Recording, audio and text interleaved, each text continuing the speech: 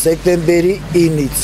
մեր ապրանքը տվել ենք Շահենին, Շահենը տվել է դեսպանին, դեսպանի տողուն օբադային տվել է, միջև մենք մեր գումարը չենք ստացել։ Մենք խնդրանքը կառավարությունից, որ բարձ այդ մեր հարցերը դեկտեմբերի 27-ին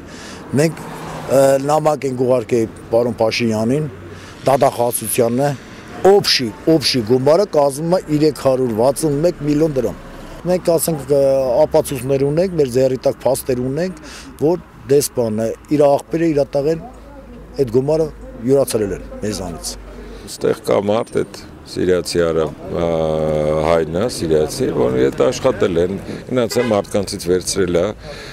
վստահել են իրան, որ նախկինում նորից եմ ասում, 10-15 օրվա մեջ փողերը տալիս էր։ Հիմա վերցրել են ու չեն տվել իբր Շահե Բահարյանի ձիվստայելով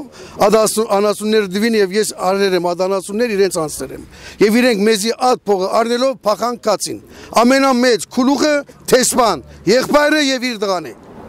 աս կծակրտուն կծոները եւ իրենք պետք է պատասխան տան մեր եզիդերուն փողեր ինչպես կողցան ես ես կբանջեմ իշխանությունեն մեր գարավարտունեն վարչապետեն նախագահեն ասի լուրջ Մարդ թողնսի մեր հետ եւ մեկ-մեկ ամենուն հաշիվը դա։ Անոր մեղավորը ինչ կուզե թողնեն։ Ես վախծող մարդ չեմ։ Ես չեմ վախծած ոչ ար կփախիմ։ Մենք չենք կարանում, այսօր մենք գոյատև ենք այսօր էկուց ես ԱԱՑ եմ բողոքե, ես կառավարություն եմ բողոքե, ես չգիտեմ advokatներով խումբ ինչ որ կա իրան օկնական այս գործի համար առաջնորդ բայց մենք այսօր չենք կրում արդեն սպասենք որովհետև մեր խնդիրը մեծ խնդիր է մենք չենք կրում գոյատևենք մենք ունենք պետության հետ խնդիր վարկ ունենք պետության հետ այսօր եթե մեզ խափետ տարել են այդ վարկերը մենք ո՞նց ենք մարելու Ուրիշ հաղորդում են ներկայացրել, հարուցված է քրեական գործը, բայց որը գործողություն ման չի արվել դեռ։ Դեսպանն է, դեսպանի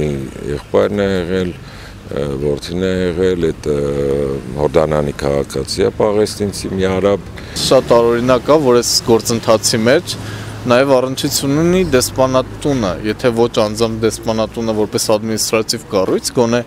իրենց տեղեկություններով դեսպանը կամ նրա եղբայրը ընդգրկված են այս բիզնես գործարքի մեջ ու եթե իրանք ընդգրկված են այս գործընթացի մեջ, իրանք նաև պատասխանատվություն են կրում, թե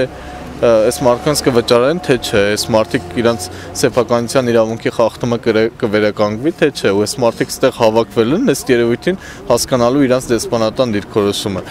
Եվ եթե այս դեսպանատունը այսօր ինչ որ ձև չարձագանքի սրան մենք դիմելու ենք արտաքին գործերի նախարարություն, որպեսզի իրենք հասկանան ՀՀ Հայաստանի տարածքում գործող դեսպանատությունը ընդհանրապես ինչով է զբաղված։